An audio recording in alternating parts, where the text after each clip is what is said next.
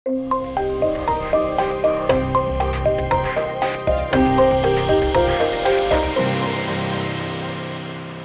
بشري حقونو د څار نړیوال سازمان په تیر یو کال کې افغان حکومت د بشري حقونو د وضعیت د ښه کولو په برخه کې ناکام بولي. د بشري حقونو د څار بنسټ د یو راپور په خبرولو سره وایي چې په حکومت کې د سیاسي رقیبانو ترمنځ اختلافونه او د سیاسي ارادې نشتون په هیواد کې د تیرو 15 کلونو لاسته راوړنې د لمنځه تلو له ګواښ سره مخ کړي دي په دغه راپور کې راغلي دي چې په 2014 میلادي کال کې په افغانستان کې اته زره ملکي وګړي اته زره ملکي وګړو ته مرګ ژوبله اوښتې ده همدارنګه په دغه راپور کې راغلي چې په خبريالانو بریدونه او له ترهګرو ډلو د یو شمیر مشهورو څیرو ملاتړ په دغه راپور کې نوري اندېښنې دي سلام او وخت په خیر زه شاپور بختیار مو تاسو د تودې خبرې خبرونه لیدونکي یاست په دې خبرونه کې نور میلمانه هم راسره دي خو فعلا د سیاسي چارو کارپو او لیکوال خغلی مصداق صاحب رسیدلې مزداق صاحب ستړی مشي بس بخیر راغلی خیر اوسې مخکې له دې نه چې مزداق صاحب سره بحث باندې پیل وکړم یو لنډ رپورټ چمتو دی په ګډه به سره وګورو د بشري حقوقو د څار د نړیوالې ادارې د اوویشتم راپور په بنسټ د افغان حکومت په 2014 کال کې د بشري حقوقو په برخه کې هیڅ د پام وړ لاسته راوړنه نه درلوده په دغه شپږ سوه اووه اتیا مخیز رپورټ کې راغلي چې په دې کال کې اته زره ملکیان په افغانستان کې مړه او ټپیان سوي دي د دغو وژنو ډېره برخه د اورپکو له خوا سوې. د دغه بنسټ د دوه زره شپاړس م زېږدېز کال د رپوټ پر بنسټ د جګړو له امله زرګونه کسان د خپلو کورونو پرېښودو ته اړ سوي دي.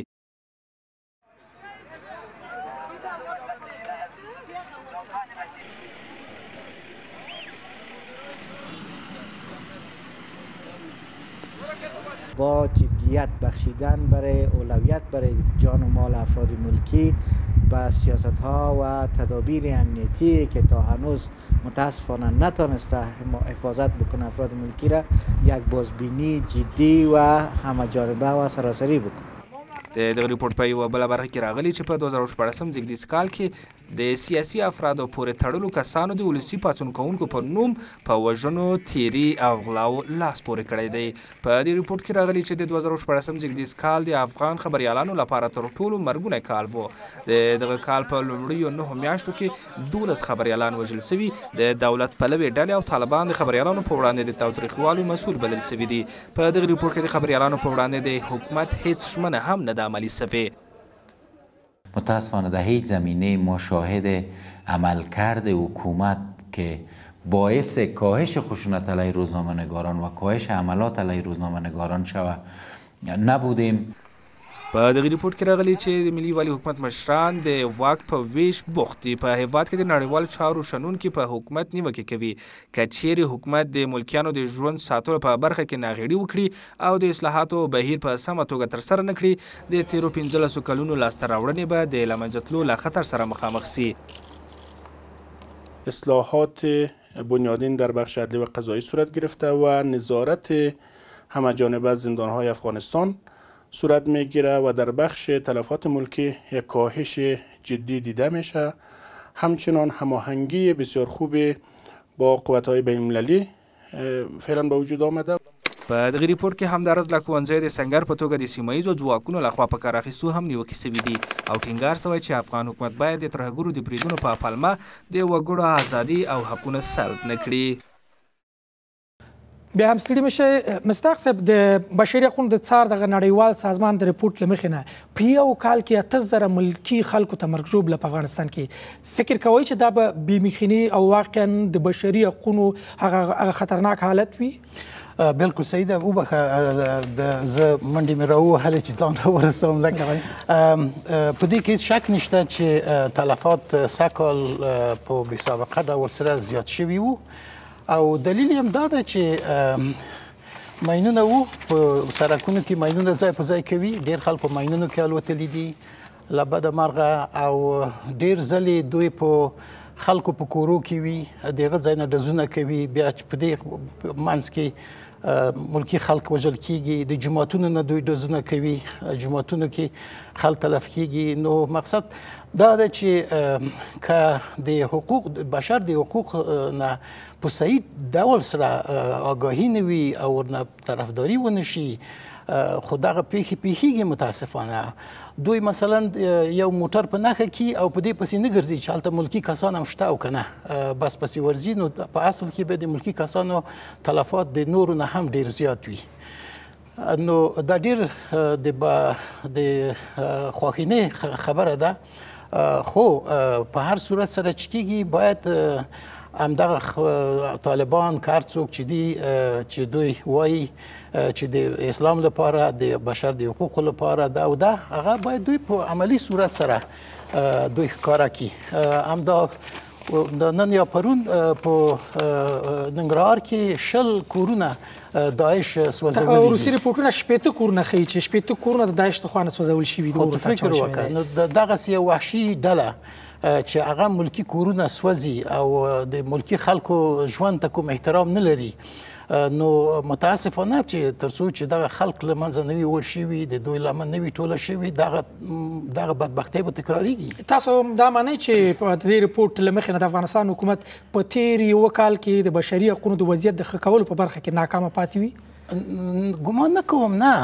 ځکه چې حکومت کوشش کړی دا چې په عدلي او قضایي برخه کې ډیر زیات اصلاحات راولي یعنی داسې اصلاحات چې پخوا نه وو تقریبا زر نفر قاضیان نوي مقرر کړي دي او د دغه سي قاضیان دي چې یعنی د د امتحان په صورت سره نیول شوی دي د شفاف مرحله نه دوی تیر شوی دي کوم واسطه او داسې او کوم بل شي په واسطه دوی نه دراغلي نو امید ده چې په عدلی او قضایي برخه کې چې محکمو کې چې ډیر زیات مشکلاتونه وو په خو دا مشکلاتونه په تدریج سره حل شي ځکه زر نفر قاضیان تبدیل نه کوي چې هغه حقوق چې اساسي حقوق د بشر لپاره ګڼل کیږي امنیت نشټون د کار نشټون د مسکن یا سرپناه نشټون د یو آرام فضا نشټون د تعلیم لپاره هغه اساسي شیان چې خونځي دي نشټون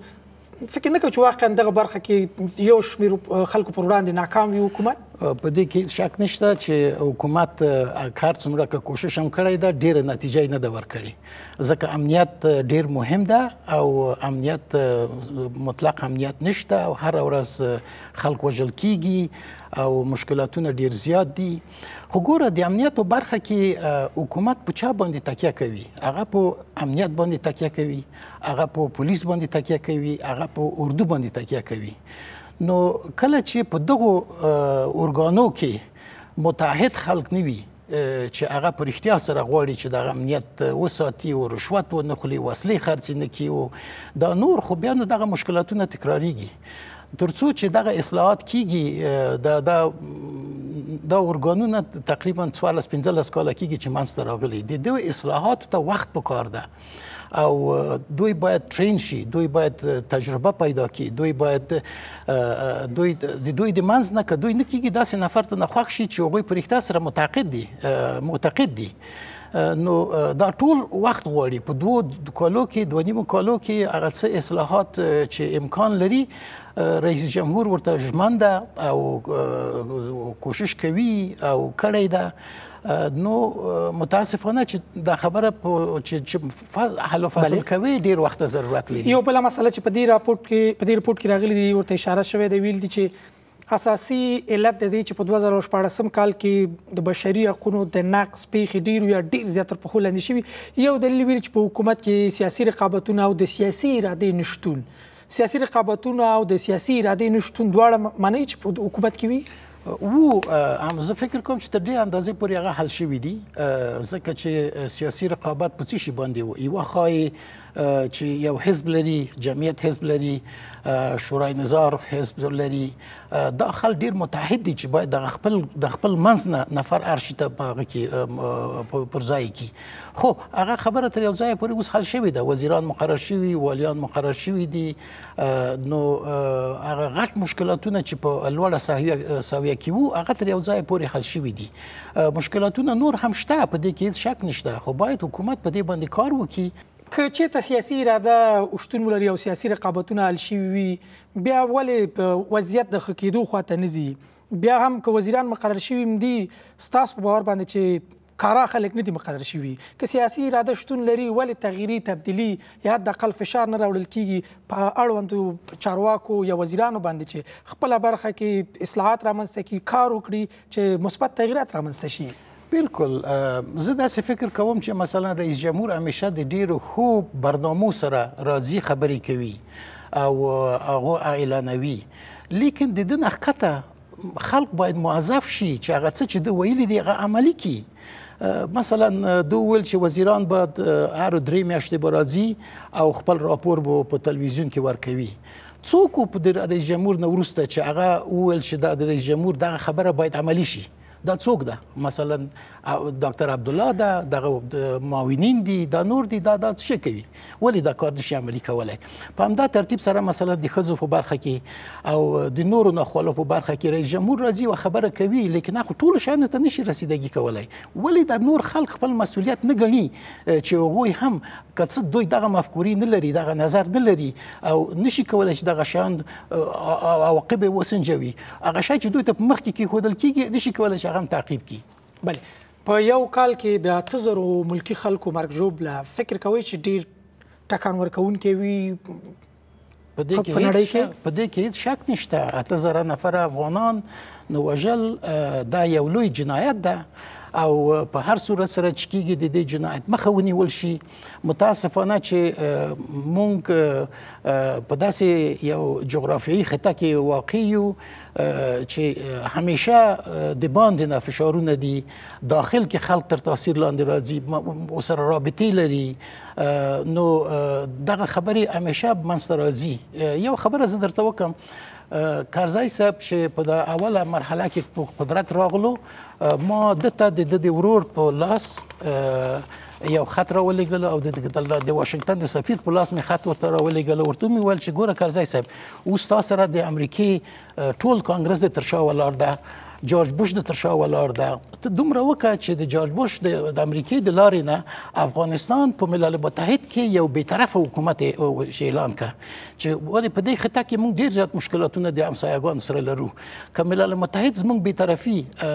تضمین کړي بیا نو که پاکستان څه شی وایي که ایران وایي که روسیه یې وایي بلې وایي بیا موږ ملل متحد شکایت کوو بیا ملل متحد به دغو سره کوي متاسفانه چې خبره چې نه کرزي صاحب واورېدله نو بل چې واورېدله خو موږ اوس په داسې یو حساس ځای کې پراته یو چې موږ باید د داسې ملکونو لکه اتریش لکه سویټزرلند دغه نه موږ باید زده کو څلور سوه کاله کې چې په سویس کې جنگ نه ده شوی په دې څلور سوه کالو کې په اروپا کې ډیر جنگونه وشول خلک په وسوځول ژوندي وسوځول شول نړیوال دوه جنگونه تیر شول دا نور هغه بیر به طرفي خپل اوسه اما څومره امکان درلود په هغه وخت کې چې تاسو خط لیکلی و چې عملا په افغانستان کې یو لک او څلوېښت زره شاوخوا خارجي عسکر شتون ولري او په راس کې امریکا وي او د افغانستان حکومت ځان بې طرفه اعلان کړي چې د موټرو تیل یاشه ایباته او ټول مصرف د نړیوالو یا ناتو او امریکا له خوا نه وي ګوره امریکای ته به داسې ډاډ موږ ورکړی وو چې تاسو د افغانستان کې تاسو په خوا هم دلته ډیر هغه کړی ده سرمایه گذاری مو کړی ده د پادشاه په وخت کې موږ د روسانو نه هم کومک غوښتو امریکایانو هم کومک غوښتو خپل ملک مور باندې جوړولو دوی موږ سره کوم مشکلات نه لرل نو دوی ته به وایي چې موږ هغه پخوانۍ خبره ده موږ غواړو چې د ټولو سره ښه روابط ولرو موږ یو محاذ په وچه باندې یو ملک یو او موږ نه غواړو چې جنگونه وکړو په بل چا باندې تعرض نه کوو د بل چا تعرض زغملی هم نشو او موږ غواړو چې دغه تاسو دغه پیشنهاد د د هغه نه د ملل متحد لارې نه دغه پیشنهاد عملی کړئ دا پیشنهاد دوی ته ورسوي کدا عملی شي تاسو د پاره هم خده او موږ د پاره هم خده تاسو چې موږ سره هم کمک کوي که روسیه هم کولی شي چې همغسې کمک را سره وکړي چین هم وکړي نور هم وکړي زه ګمان نه کوم چې دوی به داسې مشکل پیدا کړی و امریکایان زه به دا مشکل نه و ځکه دوی نه غواړي چې دوه دوه نیم زره نفر دلته ووژل شي دوی نه غواړي چې دلته اوس وایي چې موږ زر میلیارد ډالر په افغانستان کې زموږ مصارف وشول نو دا خو نو د امریکای خلک چې دا ټاکسي ورکوي هر میاشت د حکومت او نه غواړي چې دغه خبرې وشي بل اوس سیاسي اراده باندې خبرو وشي په یو ورځ کې په کابل کې تقریبا کابل هلمند او قندهار کې څه باندې 200 کسان ته مرګ ژوبله وړي چې ډیره برخه بلکې خلک هم وي د افغانستان حکومت مشران د کوم عکس العمل نه ښکاره کوي عربي متحده امارات خپل د 15 ډیپلوماټانو د وژل لپاره یې د یوې ورځې لپاره ماتم اعلانوي اما په افغانستان کې د افغانانو وینه لکه هیڅ ارزښت چې نه لري یو جدي عکس العمل یا جدي اقدام نه لیدل کیږي ځواب یې تر لنډې دمې وروسته واورو تر لنډې دمې وروسته بحث دوام ورکوو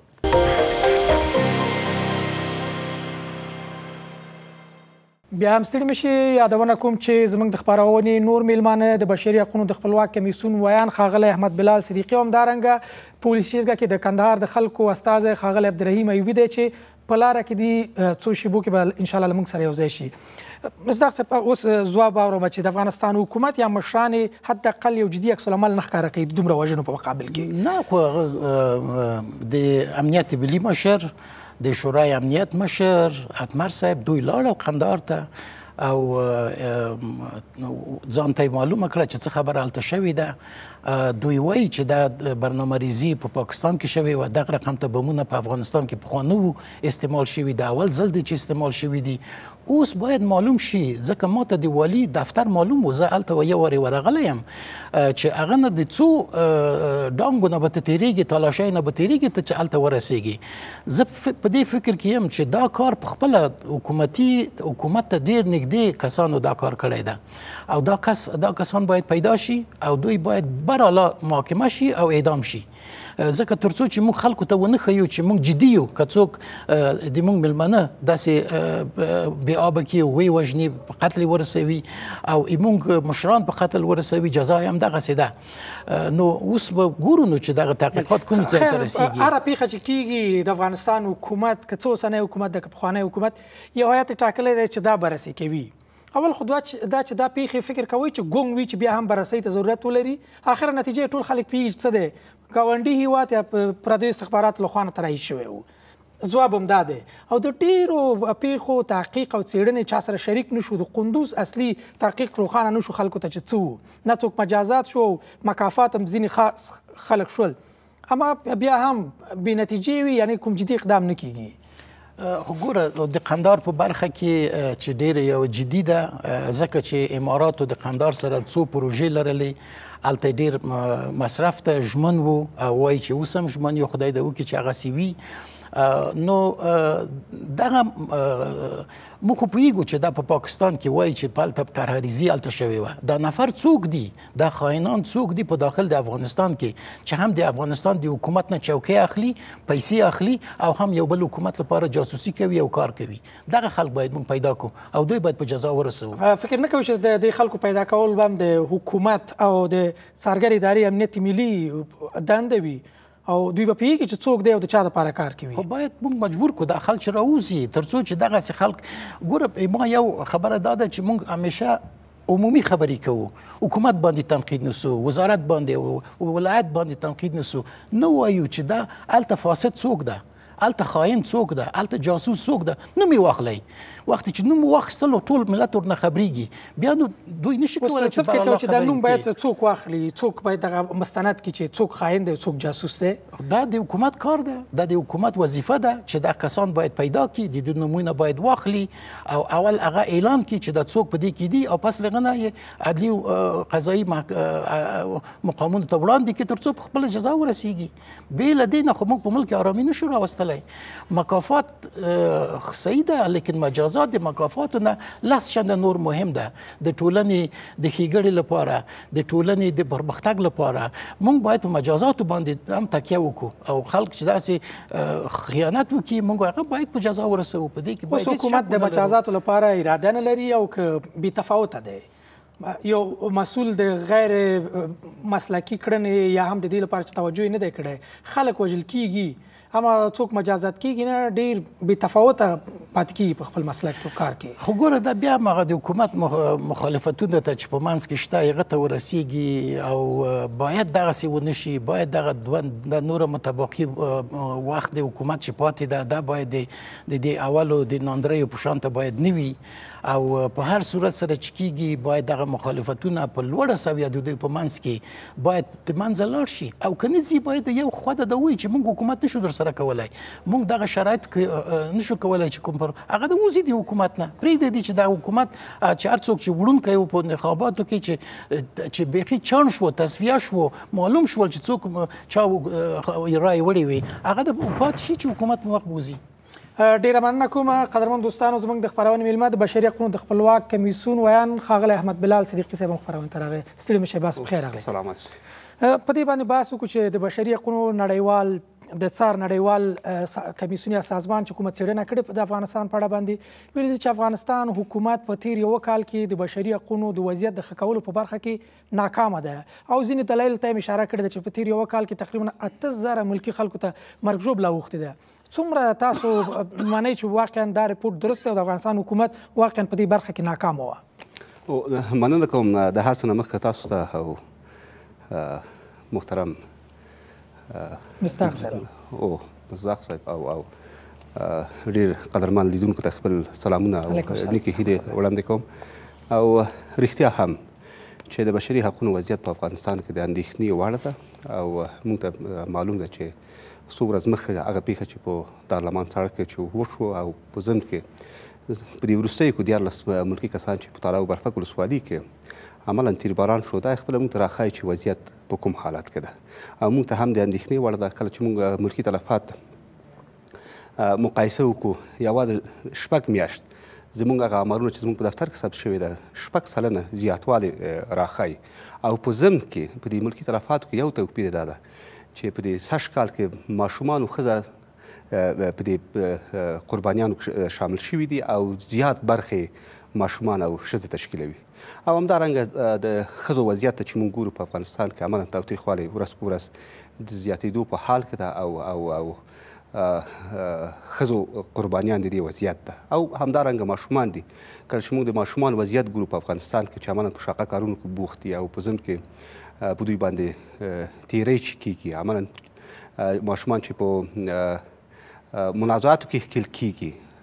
یو ډول نه یو ډول دوی په منازعاتو کې ښکیل دي دا خپله هغه شکننده وضعیت ده چې متاسفانه زموږ خلک لاسو ګریوان ده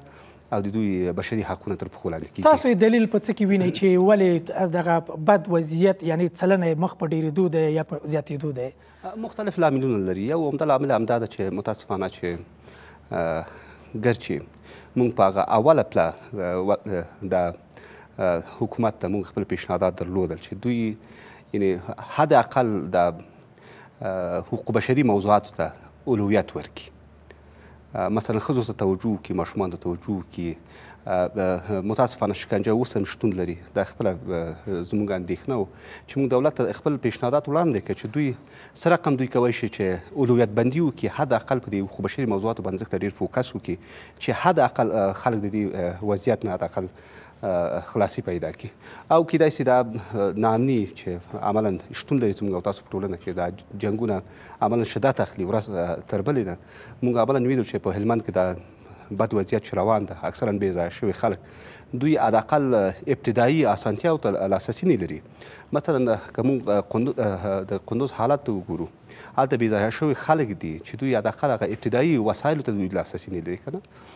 دا یو لامل کیدای شي چې دا وي او بل حاکمیت د قانون حاکمیت کمزورتیا ده په افغانستان کې دا خپله همدا یو ستونزه ده چې باعث دې کېږي چې د خلکو بشري حقونه تر پښو لاندې شي هغه څوک چې بشري حقونه نقض کړي په خلکو باندې تیری کړي د خلکو بشري حقونه تر پښو لاندې کړي دوی سره قانوني چلند نه کېږي دا خپله یوه ستونزه ده دا او خلکو ته جرات ورکوي چې د خلکو بشري حقونو ته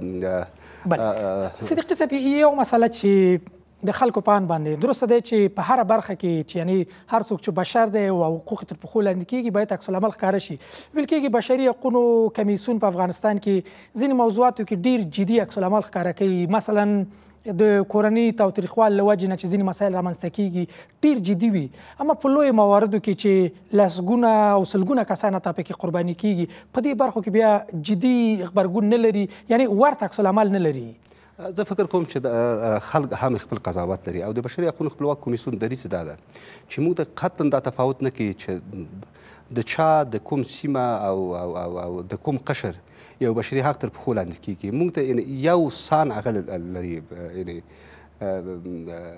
موقف لري یعنی موږ هیڅ کله کله چې د یو ښځه حق تر پښو لاندې کیږي کله د یو ماشوم حق تر پښو لاندې کیږي کله چې یو چیرته یو ملکی کسان وژل کیږي یا ټپیان کیږي یا خدای نخواسته یو چیرته یو انتحاري حمله کیږي یعنی هر هغه عمل چې باعث دې کیږي چې د خلکو بشري حقونه تر پښو لاندې شي د بشري حقونو دریځ دا ده چې موږ هغه عملونه په کلکه غندو او هغه هیڅ کله موږ ته د منلو وړ نه ده مننه کوم قانون سنو تر لنډ دمې وروسته باسه دوام ورکوو بیا هم ستړي مشه مستاق صاحب یو بل مسله په فارسی کې مونږ یو متل لرو وي از خودکشي بیگانه پروار د کابل او قندار د پیښې نه وروسته که تاسو لیدلی وي چې یو شمېر چارواکي تللي ول د ایران د پخواني ولسمشر د جنازې مراسمو کې د ګډون لپاره او همدارنګه یو ډیر شمیر چارواکي لیدل کېدل چې د متحده عربي اماراتو سفارت ته تلل او دغه وژل شوي دیپلوماتانو لپاره احترام وړاندې کوو هغه یو کتاب کې لاسلیک کولو یو څه لیکلو تسلیت لیکلو درسته دی چې دیپلوماټیکو عرفونو له مخې نه باید دا کار وشي اما زما سوال دا دی چې آیا کوم چارواکی کوم سیاستمدار د دارلمان په سړک کې دغه کورنۍ دروازه هم وټکوله چې یوه مور وه او هغه په یو ځای کې د خدمه په صفت کار کولو پنځه کلن زوی سره خپل الته قرباني شو دغه دروازه کوم سیاستمدار یا چارواکي وټکولو چې ستا وضعیت څنګه دی ګوره یو څو ورځې مخکې په خپل رئیس جمهور د وی میرمنې چې زوی په جنگ کې وژل شوی و دغه لاس خپل کړو او ټول و چې رئیس جمهور باید دغه یو کار ونه کړي هغه معنا دا لري چې رئیس جمهور د هر څو هر چا نه چې پولیس وي که عسكر وي چې په جنگ کې وژل کیږي دغه د اقارب نه د میاندې د خویندو نه هم دومره احساس وته لري لکه هغه د مور لاس چې خپل کړو دا نور خلک چې د رئیس جمهور د ښکته دي د دوی وظیفه څه شي ده د پاغه ملکی کس او بیچاره کس دروازه څوک نه ټکوي اما سفارت ته وګوري درجنونه موټر ولاړ دي تسلیت وړاندې کوي درسته ده چې ډیپلوماټانو افغانستان سره مرسته کوي باید وشي اما خپل خلکو وینه هیڅ چا ارزښت نه لري داسې معلومیږي بالکل باید دغه کلتور مروج شي باید مونږ وایو چې مونږ د پاره خپل خلک مو مهم دي دا زموږ مشران چې هلته په چوکۍ باندې ناست دي دوی ته چا رای ورکړه سفارتونو خو رای نه ده ورکړې همدغو خلکو دوی ته رای ورکړې ده دې خلکو ته دوی اوله درجه مسؤلیت لري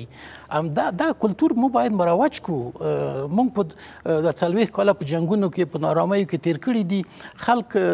دغه سي متحمل دي دغه خبرو د پاره چې واقعیا وشي وای چې خدا خدای وکړنو هم دغه سي قسمت به وام دغه سي وشو لیکن باید مونږ خپل سره رحمی ولرو خپل مسؤلیت باید وګڼو او دا کار وکړو او د نور برخو کې چې مثلا حکومت تر اوسه پورې مثلا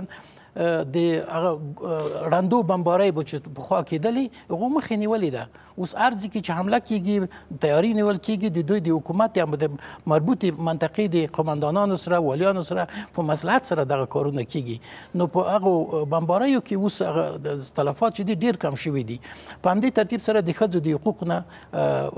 رئیس جمهور په جدیت سره طرفداري کوي خځې اوس په سفارتو کې دي په وزیران دي او ان شاء الله یو په ستره محکمه کې مقرر شي نو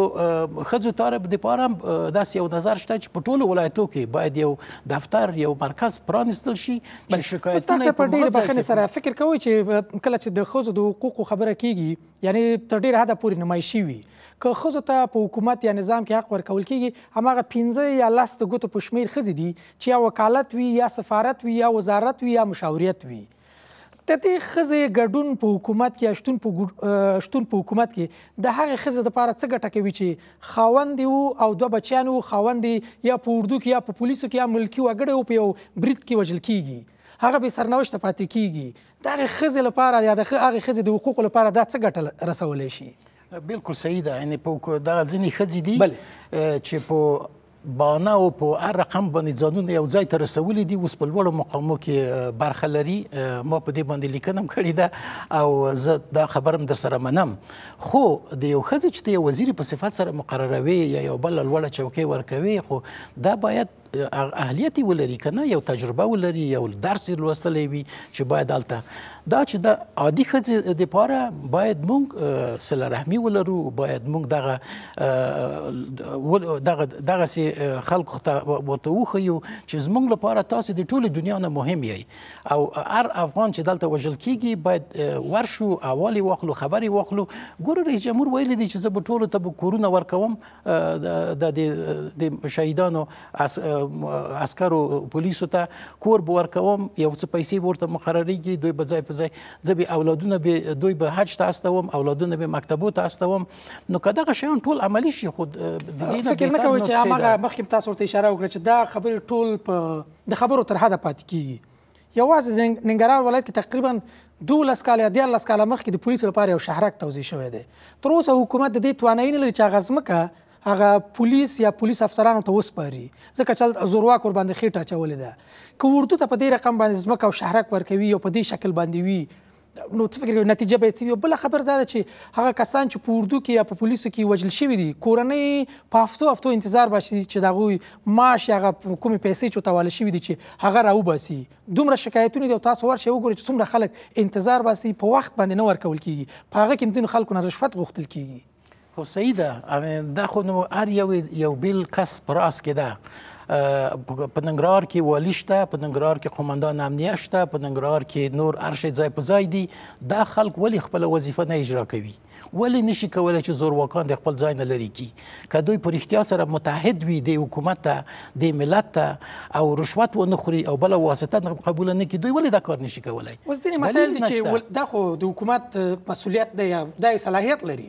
ننګرهار ته امنیه قوماندان چې یوازې مثال په توګه باندې تللی دی په اوله ورځ باندې اعلان وکړ چې زه جنګي سړی نه ما نه د جنګ تمه مه کوئ آیا مطبوعاتو هم دا خبره خبرېږي ولایتي شورا وکیلان هم دا خبرې کوي خلک هم دا خبره کوي دا خبره د کورنۍ چارو وزیر نه اوري دا خبره اجرایي رئیس نه اوري دا معاونین نه اوري دا ولسمشر نه اوري چې موږ یو کس د قومندان په صفت لیکل هغه وایي ما ته ما نه د جنګ تمه مه کوئ خیتانه موږ د چی تمه وکړو بالکل یعنی باید د مغه ورځ بیرته را لګلې وای ته څه شي کوي الته الته خو جنگ د پاره ته جنگونه کیږي الته او دا بل د جنرالي رتبه ته د خپل یو توهین نه دی چې جنرالي رتبه د پوګه باندې لګیدلې یو ته چې مان د جنگ تمام کوه بالکل د جنرالي رتبه خو اوس ډیر بې کیفیت شوی ده اوس موږ دلته دومره د امریکای نه زیات جنرالان لرو د چین نه چې یو اشاریه درې میلیونه نفوس لري بیلیونه نفوس لري مو د دوی نه ډیر جنرالان لرو دا د کوڅو د د هر ځای نه راټول شوي جنرالان دي اوس هیڅوک ته نه ګوري چې سری پټې ونه لري څوک چې سری پټې ونه لري هغه ته څوک هیڅ اهمیت هم نه ورکوي دا عسکري خو خپل یو یو مقام ده یو درس باید ووایي تجربه باید وکړي د ظاهرشاه په وخت کې یو چا به چې پنځه دېرش کاله عسکري کړې وه او تقاعد ته به نږدې کېدو دوه درې کاله به پاتې وو جنرال به شو هغې مرحلې ته به ورسېدو نن درویشت کلن هلکان هم جنرالان شوي دي او نن جنرالي هر چا ته په پیسو هم اخیستل کېږي په واسطې هم سړی جنرال کېږي درسته ده دغه خبرې د دوی مخه باید ونیول شي په دې باندې نه موږ ښه اردو لرلی شو او نه ښه د دغو مشکلاتونو چې په مخ کې دي د دوی مخه نیوای شو مننه کومه صدیقي صاحب یو بل خبره چې په دې رپورټ کې راغلي دي چې په یو کال کې اته زره ملکي خلکو ته مرګ ژوبله آیا واقعا بیڅارې نه ده او د اندېښنې وړ نه ده؟ دقیقا د اندېښنې وړ ده. موږ هم زموږ دفتر یا زموږ کمیسیون په دې راپور باندې موږ کار کوو چې موږ شپږ میاشته راپور کله چې موږ خپور کړ رسنیو سره موږ شریک کړ حد اقل هلته شاوخوا پنځه زره ملکي کسان ټپیان شوي وو او وژل شوي وو دا اعمال دین هم لوړ ده په افغانستان کې یعنی زموږ دفتر په دې باندې کار کوو په دې نږدې ورځو کې انشاءالله موږ دا راپور تکمیلوو د ملکی تلفاتو چې د جریان په یو کال کې زموږ څونه ملکی کسان بدبختانه ووایو چې متاسفانه ووایو چې دوی ټپیان سوي دي او وژل سوي دي دا ارقام موږ رسنیو سره شریکوو او موږ ته د اندېښنې وړ ده بله د رپورټ بله برخه یا بله څپرکه به دا نه وي چې دومره کسان چې وژل شوي دي د دوی کورنۍ غړي په کوم بد بشري وضعیت کې دوی واقع دي ځکه ځینې کسان به وي چې د کورنۍ لپاره یو کس چې ډوډۍ برابرولو دقیقا دا فقر خپله د فقر شتون په یو ټولنه یو عمده لامل ده د دې لپاره چې د خلکو بشري حقونه تر پښو لاندې سي یا نقص سي کله چې د یو کورنۍ هغه اساسي غړی خدا نه خاسته وژل کیږي یا یا یا مثلا ټپي کیږي نور څوک نشته چې د کورنۍ سره کومک وکړي دا خپل زمونږ هغه هغه هغه قشر چې د فقر سره لاس او ګریوان ده او د فقر سره خپل شپې او ورځ سبا کوي د دوی په په جمع کې زیاتیږي کله چې د دوی په جمع کې زیات شو طبعا ټولنه د ستونزو سره مشکل مخامخ کیږي او موږ هیڅ کله په دې باندې اطمینان نه لرو چې د دوی وضعیت هغه رقم د دې لپاره کله چې یو انسان ژوند کوي او په ذهن کې د دولت اساسي دنده او مکلفیت همدا ده د قانون پر اساس که موږ وایو د شریعت پر اساس د بین المللي قوانینو پر اساس د ملګرو ملتونو د منشور پر اساس د دولت اساسي او اولین مکلفیت دا ده چې خپل وګړو ته هغه اساسي خدمات وړاندې کړي مننه کوم لنډه د منې صوبې ته دوام ورکو باس ته تاسو سره تر لنډه د میروسه بیرته راګرځو بیا هم ستړي مشه یو بل شی چې په دې رپورت کې راغلي دي چې په دولت کې د مشهورو سیاسي څیرو ملاتړ له ترهګرو ډلو څخه ویل چې یو لامل ګرځیدلی چې ډیر خلک په افغانستان کې یا ډیر ملکیان په افغانستان کې ووژل شي تاسو په دې باور یاست چې ځینې مشهورې څیرې به واقعا مخالفینو سره لار لري یا د غوي سره به کمک کوي د کمیسون موقف دا ده یعنی موږ ته نفس د مسله څخه ډیر مهم ده زموږ غږم دا ده زموږ پیشنهادم دا ده چې دولت خپل اقدامات وکړي په یو طرف کې په بل طرف کې زموږ غږ په مخالفینو مسلط دي ته دا ده چې دوی هغه بشردوستانه قوانین په پام کې ونیسي ان هیڅ کله دوی ته دا برات نشي ورکوي چې کله چې دوی راځي په په په په ملکی ساحاتو کې دوی انتحاري حملې تر سره کوي او عام خلک په نخښه کوي یعنې زموږ غوښتنه دلته دا ده چې کله چې مخالفین خپل عملیات ترسره کوي کله چې دولت خپل عملیات ترسره کوي دوی نهاد هغه مثلا د ژنیو کنوانسیونونه هغه الحاقي پروتوکولونه زښت ډېر په پام کې ونیسي مثلا کله چې یو چیرته حداقل هلته د تناسب مسله ده تناسب مسله دا ده چې کله چې تاسو غواړئ چې یو څوک په نښه کوي ولو هغه نظامي سړی ده که هر څوک وي حد اقل تناسب داسې نشته چې تاسو یو نفر په نښه کوي هلته مثلا په سلها ملکی کسانو ته تاسو زیان رسوي یعنی دا دلته هیڅ کله د عدالت نورمونه دا اجازه نه ورکي یعنی زموږ پیشنهاد دا ده مخالفین ته دا ده چې دوی حد اقل دا بشر دوستانه قوانین ته دوی احترام خو بیا بل مشکل فکر کوي چې دا به وي د مخالفینو باس یوې خواته کله چې یو امنیتي اداره د ښار په منځ کې ځای په ځای وي ځانه جګ جګ سیمټي دیوالونه هم تاو کړي وي او دوی یو برید مخنیوي نشي کوي دوی دروازې پورې رسیږي هغه برید یا بریدګر او دلته ملکی خلکو تګ راتګ هم کوي دلته اوس څوک ګرم دی تر ډیره پورې د افغانستان حکومت په خپل ګرم نشو چې دغه امنیتي ادارې ام دی والی سیمټونه تینه تاو کړی دي او خپل شاوخوا امنیت نشي کنټرولولای یا خپل دښمن 100 متره 1500 متره 1000 متره لري لمنځه نشي کشفولای وړلای خو دا د دولت خو زموږ غږ هم همدا ده دا د دولت دنده او مکلفیت دا ده چې د خلکو ځان د خلکو مال د خلکو حیثیت وساتي ان دا د دولت مکلفیت ده کله چې خلک دوی ته رای ورکړي کله چې موږ مثلا یو نظام لرو کله چې موږ یو تعریف د دولت لرو د دولت مکلفیت او دنده همدا ده چې د خپل وګړو د خپل خلکو ځان او حیثیت او ناموس او ژوند ډیر په ښه توګه وساتي بله مننه کوم مستاق صاحب یو بل خبر چې بیا ما خبر تر راګرځو د عربي متحده اماراتو 15 ډیپلوماټان وژل کیږي په قندار کې د یوې ورځې لپاره ماتم اعلانېږي په عربي متحده اماراتو کې جنډه یې نیمه ځوړندېږي آیا د افغانستان د خلکو د وګړو هغه ملکی وګړي چې وژل شو نظامی خو په جګړه کې وي په نظامی لحاظ باندې ملکي وګړو دا حق نه و چې یو ورځ د دوی لپاره هم ویر اعلان شو تر 200 ډیرو کسانو ته مرګ ژوبله وغوښته په یو یو ورځ کې بالکل دا بخي او د یو داسې یو پیښه وشوه چې تقریبا یو نیم سل 200 نفر په یو ورځ کې په درو ځایو کې کابل کې او قندار او په هلمند کې دا مړه شول باید دغه یو شای شوی وای چې خلکو هم ویلي وای چې ولا زمونږ وینې تویدل هم نه دی پیر شوي نو متاسفانه چې دغه بمونه او هر ورځ هر هفته کې یو واري دلته او هلته دا کیږي او هره ورځ هم سړی نشي کولای چې داسې یا بیرغونه نیمایي وځړوي یا مثلا داسې ورځ اعلان کی کنه د مونږ ټول کال په دې باندې تیر شي خو کېدای شي چې مثلا د کال په اخر کې یا مثلا هر شپږ میاشتې وروسته حکومت خپل ټول دستاوردونه هغه د خلکو په مخ کې کېږدي چې موږ څه شي کړي دي په دې برخه کې او څرنګه چې دومره تلفات شوي دي دغه یو ورځ نیمایي ورځ یا موږ قران شریفونه باید په جماعتونو کې ختم شي او د دوی اروا ته باید دعا وشي یا دغه د دوی یادونه په یو رقم یا بل رقم سره وشي درسته ده مستاق صاحب چې په بریدونه په افغانستان کې هر ورځ کیږي اما ځینې ورځې وي چې ډېرې تیارې ورځې وي یعنی په یو ورځ کې سل تقریبا 200 یا شاوخوا 200 کسانو ته پکې مرګ ژوب لاوړي چې په هغه کې ملکی خلک هم وي هغه کې بیګناه خلک هم وي ګډون لري حد اقل په دغه ورځو کې خو حکومت یو ماتم اعلانول شي موږ همیشه دا نیوکه کوو چې نړیوال ته زمونږ افغانانو وینې ارزښت نه لري کله چې زمونږ حکومت چې د خلکو په رایه باندې راغلی وي هغه چې وینې ته ارزښت ور نه کړي، نړیوال به څنګه ارزښت ورکړي؟ ایا دا ماتم په دې مانا نه و، که اعلان شوی وای، چې د نړیوال ته یې ښودلی وای، چې دلته زموږ وینه تویېږي او دا وینه موږ ته ارزښت لري؟ بلکل، یعنې په ټوله دنیا کې، خصوصاً په غربي دنیا کې یو نفر، یو اد، یو تبعه د یو ملک چې نیول کېږي په یو ځای کې، په هغه باندې استخبارات، سیاسي، سیاسي ارګانونه، دا ټول ورپسې وي، تر څو چې هغه سړی راخلاص نه کړي، تر هغه وخته پورې نه پرېږدي. لیکن متاسفانه چې د افغانستان وینه اوس ډیر ارزانه شوې ده وګوره زموږ مهاجرین په اروپا کې په څه حال کې دي موږ چا باندې احتجاج کړی ده موږ چا موږ چا ته خپل आवाज پورته کړی ده یعنی دا کارونه باید موږ کو باید ملل متحد ته ورشو ملل متحد د مهاجرو لپاره یو بل اداره لري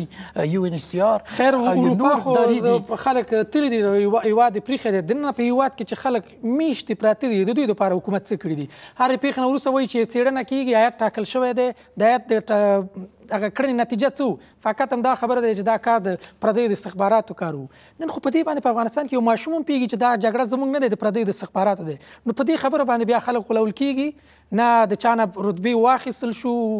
برعکس بالکل یعنی خلک په دې خبرو باندې نه غولېږي خلک پوهېدلي دي دا باید باید پیدا شي چې اصلا د دې حملو تر شا څوک دي او هغه چې موږ لاس ورسیږي چې په داخل د افغانستان کې دي په حکومت کې دي د دې ځینې معاشونه اخلي رتبه اخلي او دغه سي خاينانه کارونه کوي هغه باید موږ را برسېره کوو ولې د چانه ډاریږو او دغه دوه مشران که په خپل منځ کې نه سره جوړیږي ملت خو جوړیږي داسې ګونګ خبره خو نه کوو د پټو سترګو خبره نه کوو هر شی الته واضح دي چې یو څوک چې دغه یو کار کوي جزا یې څه شي ده دا مک... دا مجازات باید شروع شي دا مجازات باید ورکړ شي زه هغه هم د سره موافقه لرم چې تر اوسه پورې مجازات ډیر کم شوي دي او مکافات ډیر زیات دي خو ګوره نتیجې ته چې وګوري د مکافات دومره نتیجه نه ده ورکړي نو اوس راځي چې په مجازاتو باندې لګ اصرار وکړو او دغه تحقیقاتونه چې وشي چې خلک را معلوم شي باید خپل جزا ورسیږي مننه کوم یو بل شی په دې رپورت کې راغلي دي چې یو شمیر خلک د وسوال پاسون کوونکو په نوم باندې هم خلک په افغانستان کې زورولي کورونه لوټ کړي دي لارې نیولې دي شوکې کړي دي یا ځین نور مسایلو کې لاس لري تاسو سره هم داسې شکایتونه او رپورټونه ثبت شوي دي دقیقا راپورونه موږ سره شته هغه مثلا غیر مسول مسلح کسان چې عملا په کلیو بانډو کې شتون لري دا خپل یو یو یو کټګوري ده یو قشر ده چې باید دې کې چې د خلکو بشري حقونه تر پښو لاندې کی یا نقض کی یعنی دا شکایتونه تاسو ته هم رسیدلي دا چې نړیوال څار کمیسیون ویلي تاسو هم دا شکایتونه لرئ دقیقا موږ دا شکایتونه لرو په ولایاتو کې زموږ د پاتر شه دا موږ ثبت کړي دي دا داس رقم قضایا او زموږ په دفترو کې ډېر شکایتونه کوم ولایت نه دي په دې برخه کې خو تر اوس پورې ګر چې موږ په وضعیت حقوق بشري راپور باندې موږ کار کوو ان شاء الله په دې وروستیو کې دا خلاصيږي او په دې کې ان شاء الله دا ټول موضوعات رسنیو سره بینري ټولن سره او حکومت سره شریکيږي مننه کوم دوام ورکوو باسته تاسو سره تر لاندې د میورسته به ترګرځم باسته دوام ورکوو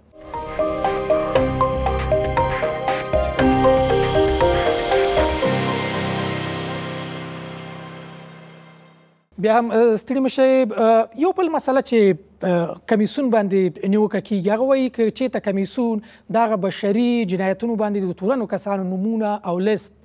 افشا کړی وای نو نن به په د بشري حقوقو په وضعیت کې ډیر زیات خواله راغلی وای هم مخکنی حکومت وي مصلحت وکړو هم کمیسون مصلحت وکړ هغه کوم رپورت یا کوم کوم شیان چې مستند شي نشر نشو خلکو ته روښانه نشو هغه برنامي عمل چې تصویب شوی و د دولت لخوانه تصویب شوی و دا د دولت اصلا دند او مکلفیت و د دې لپاره په هغه برنامي عمل کې زمونږ یوازنۍ دند دا و چې مونږ دا قضایا مونږ مستنساجي وکړو په افغانستان کې هغه جنایتونه تر سره شوي دي مونږ دا کار وکړو د دې لپاره په هغه برنامي عمل کې د هر ارګان دنده او مکلفیت یې معلوم وو او دا د دولت زموږ د دولت مکلفیت ده چې په دې برخه کې کار وکړي د دې لپاره چې کمیسیون خپل کار وکړ چې د دې لپاره چې دا ټول هغه جنایات هغه مثلا قضایات چې په افغانستان کې تر سره شوي وو هغه مستند شو موږ خپل کار خپل دنده د هغه برنامه عمل پر اساس باندې موږ تکمیل ک او او او او دولت موږ تسلیم ک او دا د دولت د دې لپاره چې کمیسیون هیڅ کله موقف دا نه ده هر څوک چې یو بشري سرغړونه تر سره کوي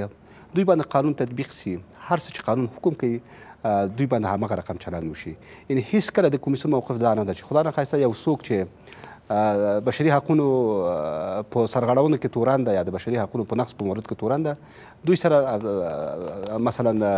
غیر قانوني چلند وشي یعنی زموږ هدف دا ده چې دې لپاره چې یو هم د زموږ نگراني هم دا ده چې د معافیت فرهنګ شتون زموږ او تاسو په ټولنه کې دا موږ ته د اندېښنې وړ ده د دې لپاره ځینې خلک دي چې معافیت لاسته راوړي او ځینې خلک باندې قانون تطبیقېږي او زموږ پیشنهاد هم دا ده زموږ غوښتنه هم دا ده چې په ټولو باندې یو شان دا قانون تطبیق سي او او هیڅ کله د معافیت فرهنګ نور شتون زموږ او تاسو په ټولنه کې ځای نه لري دا چې په تیر کې څه یو څه جنایتونه په افغانستان کې تر سره شوي وو د بشري حقوقو خپلواک کمیسیون دا مستند سازي کړل او مکمل گزارش یا دغه اسناد د افغانستان مخکنی حکومت ته وسپارلو خو لکه چې مخکنی حکومت د یو شمېر مصلحتونو لمخې انتقالي عدالت پلی نه کړ اوس د هماغو جنایتکارانو شتون چې تاسو په رپورت کې جنایتکار بلل شوی دی او مستند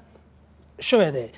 په حکومت کې شتون ستاسو دند نه ده چې غږ پورته کوي چې دغه کسان چې په دې جنایاتو باندې تورن دي مستند شوي دي اوس هم په نظام یا حکومت کې شریک دي واک پر لاس کې لري او عین جنایاتو ته دوام ورکوي خو زه فکر کوم چې زمونږ دنده خو خلاص شو اوس د دولت مکلفیت ده چې څوک په کوم موقف کې دوی مقرري د دې لپاره چې هر څوک چې په هر موقف کې ګمارل کیږي د قانون پر اساس باندې د طرز العملونو پر اساس باندې دوی یو مشخصات لري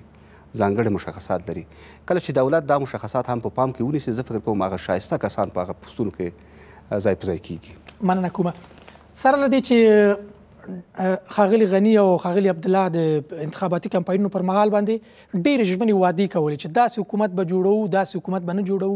فکر کوئ چې برعکس ثابت شو؟ آیا هغه کسان چې د بشري حقونو خپلواک کمیسیون مستندسازي کړي وو چې پر جنایاتو باندې تورن دي یا لاس پورې کړی په خپلو وختونو کې اوس هم په دې نظام کې نه دي آیا دا رپورټ دوی نه دی لوستی نه دی لیدلی نه تنها دا چې هغه کسان چې په نخښه شوي وو په حکومت کې دي هغه کسان چې په حکومت کې نه دي هغوی هم تر اوسه پورې په جزا نه دي رسیدلي قضیې دوسیې تکمیل شوې دي او د نوي عدلي او قضایي ارګان ته ور وړاندې شوې دي هغوی کار ور باندې کوي خو تر اوسه پورې دغه سي غټو مفسدینو په برخه کې چې په میلیونو ډالر هغوی دی خو ته خو ته کړی دي یغو قضیه باید راشی ځکه ملت غواړي چې نه تنها هغه غریبان او کم خلک چې 50 زره شپېتو زره ډالر باندې د عدلی او قضایي ته باید مخ ته شي هغه خلک چې په میلیونو داسې رشوتونه اخیستي دي فاسد خلک دي باید غوي هم وړاندې شي په دې کې چې ورسې پښتنه په توګه باندې د افغانستان حکومت نیمایي مشران د یو چا په جنازه کې ځي نیمایي مشران په بل څه باندې مصروف وي نیمایي وایي چې حیات تللی دی او تحقیق کوي دا تحقیق به د خلکو په څه په درد وخوري نو باید تحقیق نتیجه لکه چې ما مخکې وویل رابرسېره شي او هغو ته جزا ورکړي ډېره مننه کوم ستاسو نه چې په دې بحث کې مو ګډون وکړ کور مو ودان ستاسو لیدونکو نه هم مننه کوم چې تر دې دمه ملتیا وکړه تر بیا د خدای په